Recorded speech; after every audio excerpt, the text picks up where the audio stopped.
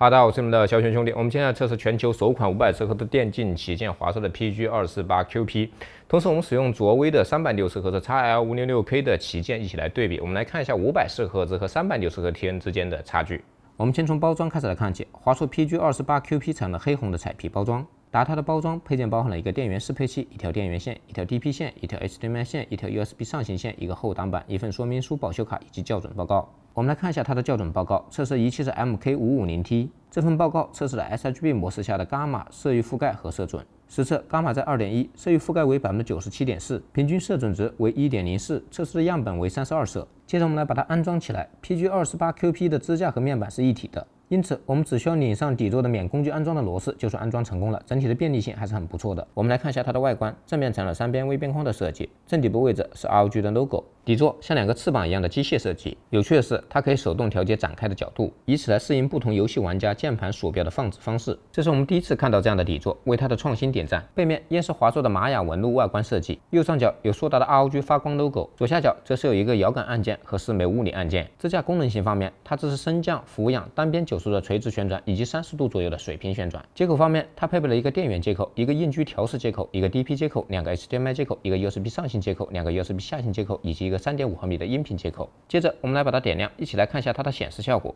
开机，屏幕中央会出现 ROG 的 logo，接着就进入了显示的画面。开机之后的第一主观感受，它整体的色彩偏素，并且有油腻感。切换到宽色域模式，色彩会艳丽一些。通过一切测试，它达到了百分之一百二十一点九的 sRGB 容积。观感相比卓威 XL566K 的一百零五点四的容积会更加讨喜一些，PPI 为九十一，实际的字体显示和图标清晰度表现一般。像素排列方面，通过显微镜的放大，它 RGB 垂直条状排列，子像素形态是长方形。OS 菜单方面，整体依然采用了 ROG 家族式的红黑配色，操作的方式是背面的五项摇杆按键。我们来看一下它菜单中的功能设置，首先是色温，通过一切测试，默认出厂为七千四百六十四 K。菜单中的色温选项还提供了四千 K 到一万 K 的选择，以及用户自定义三色调节。色域空间方面，菜单中内置了一个 sRGB 模式和宽色域模式。通过仪器测试，sRGB 模式下色域覆盖率为百分之九十九点九，平均色差值二点三，最大色值四点二二。宽色域模式是以 P 三为基准，色域覆盖率为百分之九十一点五，平均色差值二点三四，最大色差值四点二三。同时，我们来看一下卓威 XL 五六六 K 的色彩数据。通过仪器测试，sRGB 模式下色域覆盖率为百分之九十九点三，平均色差值二点零六，最大色差值七点二四。蓝色偏离较大，整体表现明显差于 PG 二十八 QP。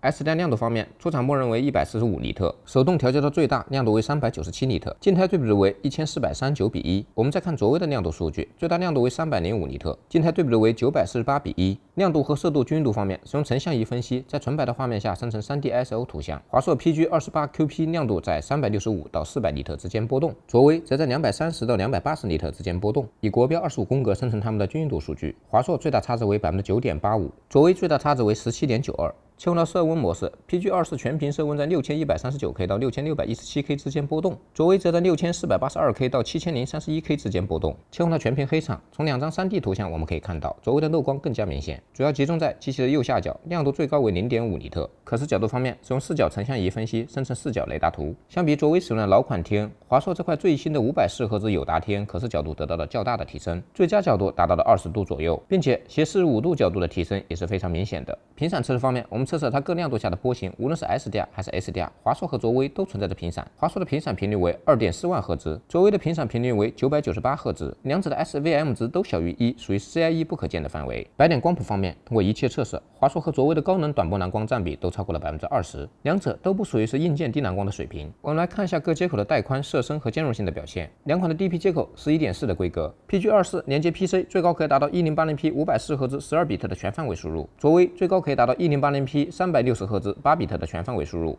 HDMI 接口是二点零的规格，不支持 FIL 协议，两款最高都只能支持到一零八零 P 两百四十赫兹的八比特全范围输入。连接 Xbox Series X 之后，两者一致，只能支持一零八零 P 一百二十赫兹的游戏内容，其余都不支持。连接 PS 五，PG 二四可以支持到一零八零 P 四十八到一百二十赫兹的可变刷新率，支持 HDR，而卓威并不支持 VR，也不支持 HDR。因此只能支持 1080p 120赫兹。使用 MacBook Pro 16连接，在 HDMI 的直连下，华硕和卓威都可以支持 1080p 240赫兹的刷新率，但不支持 High DPI。而华硕因为有 HDR400，因此支持 HDR，卓威则是不支持的。在 Type-C 转 DP 的连接下，华硕有居胜可硬件芯片，可以支持1到244赫兹的可变刷新率，支持 HDR，但依然不支持 High DPI。卓威则和 HDMI 直连是一致的，只能支持 1080p 240赫兹。输入延迟方面，在 1080p 120赫兹的信号下，华硕的输入延迟为9毫秒，卓威略高一些，为十一毫秒。HDR 性能方面，华硕 PG 二四通过了 VISA Display HDR 400的认证，卓威则没有配备 HDR 功能。分区控光方面，通过垂直扫描线的测试，两者没有具备分区控制。华硕 HDR 的最高亮度为四百零四尼特，HDR 静态对比度为1466比一。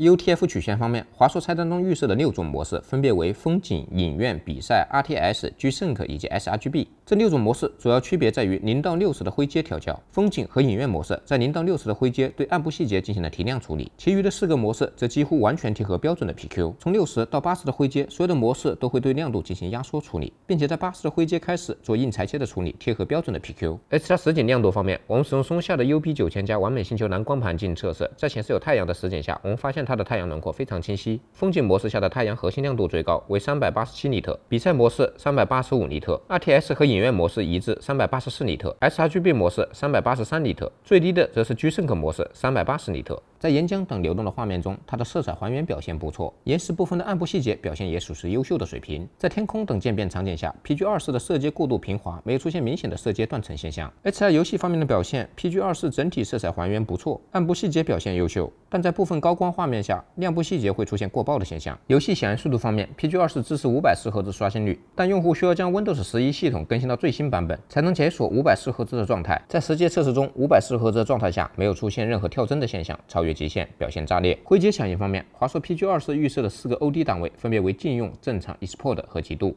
实际用仪器测试，禁用模式下四点零二九毫秒，没有任何的过充现象；正常模式下二点五毫秒，平均过充十三点四五，最大过充为百分之三十一点七一；Export 模式下二点四三毫秒，平均过充百分之九点六八，最大过充为百分之六十点一一；极度模式下二点二二毫秒，平均过充百分之二十九点六三，最大过充为百分之两百零八。我们勉强将正常模式定为它的最佳档位，G to G 成绩为二点五毫秒。再来看一下卓威，最佳档位为自定义的十一档，实测为二点九二毫秒，平均过充百分之二点一，最大过充为百分之九点七。通过实测数据，我们可以看到，华硕采用的五百四十赫兹 TN 相比于卓威的三百六十赫兹，提升是明显的。但在调教方面，卓威更值得表扬。为什么？我们先来看一下两者的面板规格书。华硕采用的是友达最新生产的全球最快 TN 面板，同时这也是消费者能买到的全球最快 LCD 面板。它的规格书写明了响应时间为二点五毫秒。在华硕的调教下，正常模式达到了这个水准，但存在着最大过充百分之三十一点七一的成绩，这是我们不满意的。反观卓威，它的面板规格数为三点五毫秒，但在它的调教下超越了这个成绩，达到了二点九二毫秒，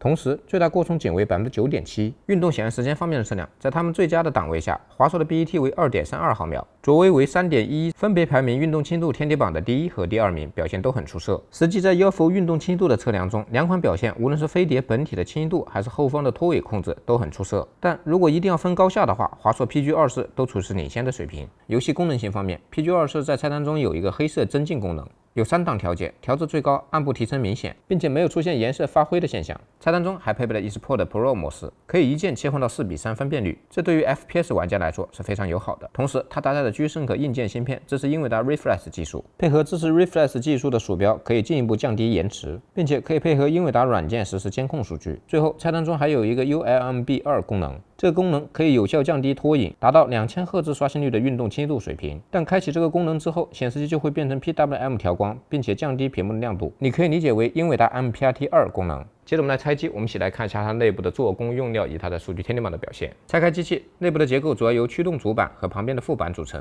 我们先来看一下驱动主板，主控芯片依然是 G Sync R4 芯片，并没有升级，支持 Reflex 技术以及英伟达特调的 OD。主控芯片的旁边汉马的海力士 DDR4 内存颗粒，单颗两百五十六兆，总计一点五 G。我们再来看一下副板，中央上方是新唐科技 Cortex-M0 架构的微处理器，右边有一个 Artery 的 FPGA 芯片，用于实现英伟达 Reflex 技术。接着我们再来看它面板部分，左上角有面板贴纸，型号为 M241HTN01.2。这是一块二四点一英寸、一零八零 P 的分辨率、五百四赫兹刷新率、八比特色深的友达原装模组。整体从拆机的部分来看，它的做工和用料都属于是优秀的水平。接着我们来看华硕 PG 二四八 Q 实测数据方面表现。我们先从色域开始来看起，通过精准的三色坐标计算，它达到了百分之一百二十一点九的 sHb 容积，色域天梯榜排名第一百一十七名。卓威 X256K 的色域容积为一百零五，色域天梯榜排名第一百四十三名。SDR 亮度方面，PG20 最高 SDR 亮度为三百九十七尼特，亮度天梯榜排名第八十二。卓威 SDR 亮度最高为三百零五尼特，亮度天梯榜排名第一百二十八名。静态对比度方面，华硕实测一千四百三十九比一，卓威为九百四十八比一，静态对比度天梯榜分别排名第三十五名和一百三十二名。可视角度方面，通过肉眼和视角仪的测量，华硕的可视角度更好，分布也更加的均匀。亮度均匀度方面，在十五公克的白点测下，华硕 PG 二十最大差值为百分之九点六一，均匀度天梯榜排名第四十九名。卓威 XL 五六六 K 的最大差值为百分之十三点五八，均匀度天梯榜排名第八十三名。HDR 单独摄像，由于卓威不具备 HDR 功功能，因此我们只看华硕 PG 二十八 Q 的结果。实测最高 H 加峰值亮度为四百零四尼特，H 加峰值亮度天梯榜排名第一百零三名。H 加静态对比度方面，实测为一千四百六六比一，H 加静态对比度天梯榜排名第二十六名。最后响应速度的测量，华硕 PG 二十灰阶达到了二点五毫秒，灰阶响应速度天梯榜排名第十八名。卓威以二点九毫秒的响应速度排名在十九名。运动响应时间方面，华硕 BAT 为二点三二毫秒，卓威为三点一一三毫秒，两款分别排名第一和第二名，表现出色。好了，各位，以上就是我们关于华硕五百四和赫兹和卓威三百六十度的全部的对比测试了。这样的机种呢，我们就不做总结了。如果你对我们的视频感兴趣，希望你帮我们点赞、转发、甚至订阅我们的频道。那我们下期再见，拜拜。